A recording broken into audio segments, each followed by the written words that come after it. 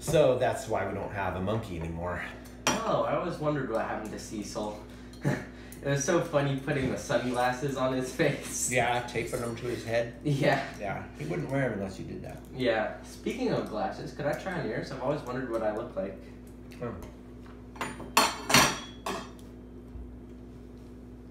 Well, how do I look? I don't know. I can't see. you. Oh, silly me. What's that you're eating with? Uh, my homemade chopstick trainer, Hmm. patent pending, okay, I'll have to get me one of those. for beginners. Nice. So when you learn how to do it the proper way, you get rid of the salad tongs.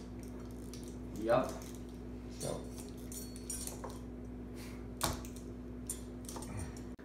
Hey, Dad, I think you have some broccoli stuck in between your teeth. Uh, no, the other side. There we go. thanks. Yeah, no problem.